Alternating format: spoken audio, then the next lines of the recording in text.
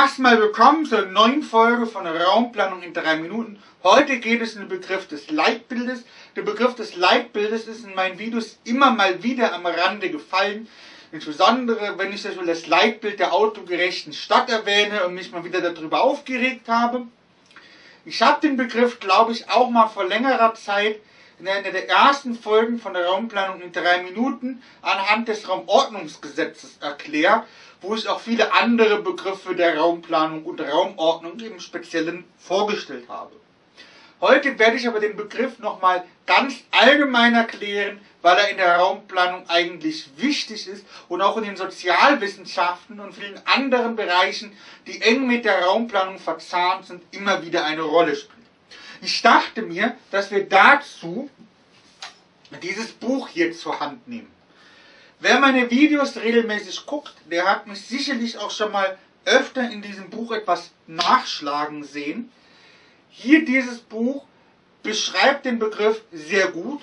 Hier befindet sich nämlich auf Seite 288 eine sehr gute Definition des Begriffs und die ziehen wir jetzt einfach mal heran. Und gemäß einer Zitierung eines Buchausschnitts von einem Buch eines gewissen Däne, da müsste ich jetzt eigentlich genau im Inhaltsverzeichnis nachgucken, wie das Buch heißt, habe ich jetzt aber gerade keinen Bock drauf. Bitte guckt euch meine schlechte Art zu zitieren jetzt nicht ab. Jedenfalls definiert dieser das Buch hier, und das ist dann halt hier zitiert, der Begriff des Nachbild, na, Leitbildes. Ein Leitbild der räumlichen Entwicklung ist eine anschauliche, übergeordnete Zielvorstellung von einem Raum, die von der Mehrheit der angesprochenen Menschen und Institutionen mitgetragen werden soll, das raumbedeutsame Handlungen Einzelner leiten und so die räumliche Entwicklung lenken soll. Das ist natürlich mal wieder raumplanerisch, fachlich formuliert. Daher stellt sich die Frage, was bedeutet das jetzt eigentlich? Fassen wir nochmal zusammen. Es ist eine anschauliche, übergeordnete Zielvorstellung.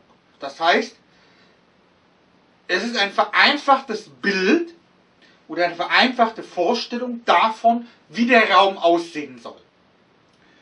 Und darauf aufbauend versucht dann die Mehrheit der Raumplaner oder sonstiger Menschen einen Plan aufzustellen der diese Zielvorstellung quasi in die Raumplanung umsetzt.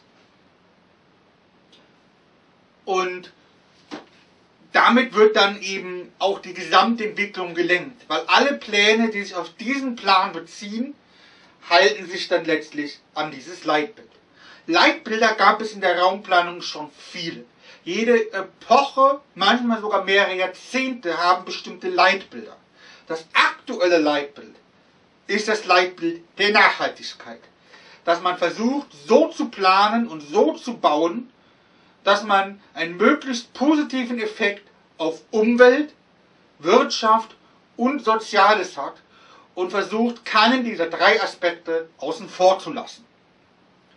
Das Thema Nachhaltigkeit habe ich schon tausendmal in Videos beschrieben, denn das ist eh ein A und O Thema für mich und für Raumplaner auch. Und Darum müsst ihr den Kanal abonnieren. Tut mir leid.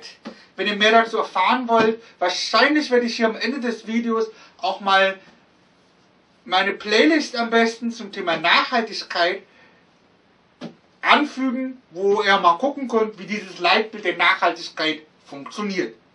Wenn ihr noch Fragen zum Thema Leitbild habt, schreibt es mir unten in die Kommentare. Wenn euch dieses Video gefallen hat, gebt mir gerne einen Daumen nach oben. Ich sage an dieser Stelle wie immer Tschüss und auf Wiedersehen und bis zum nächsten Mal. Ciao!